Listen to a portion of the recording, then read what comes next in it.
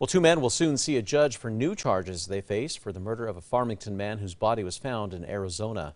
Craig Kavanaugh was last seen on July 4th. He left home for a job in Arizona but never showed up. That was not until August that his body turned up in the woods of Coconino County in Arizona.